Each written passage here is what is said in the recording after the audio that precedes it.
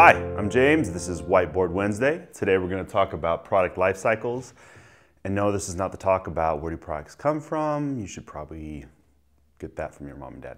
Anyways, so in every industry, there are product life cycles, whether that's in manufacturing, warehouses, there are the rise and fall of those things that we make, sell, and distribute. Typically, there's an intro, growth, maturity, and decline of these products as they come into market, take off, stabilize, steady out, and then eventually something new comes along, something better.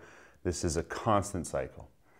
But what can we do as a business to both put this to use, be prepared for it, and prepare for the next line of product life cycles?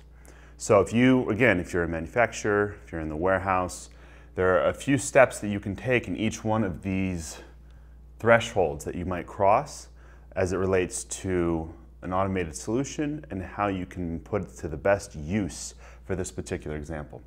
So again, we have the intro of this product. So this might be early adopters, something just coming onto market or some new extension of a product that already exists.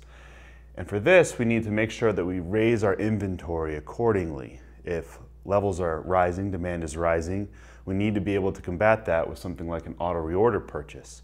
So they don't have to personally watch each level. We have set marks as far as where that level can go, and when it dips below that, the software automatically reorders so we stay in a safe zone.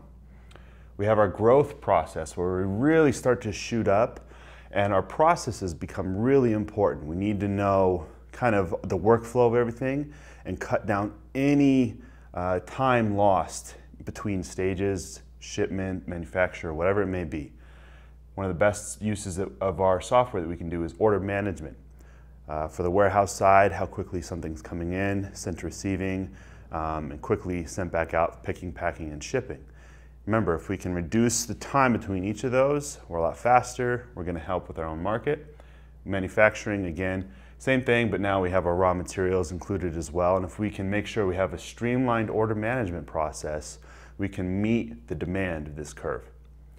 Maturity. So the market's stabilizing, maybe there's other competition in the market, and we really have to optimize how much we're making, how many items we're keeping, we keep those levels accurate. So again, we want to use something like reports. With reports, we can quickly take a look at what is coming in, what's going out, so we can summarize kind of where the market's at, even on an individual level as a company. And then the decline. It's sad, but it happens. We need to scale and search. Now this is where accurate accounting really comes into play.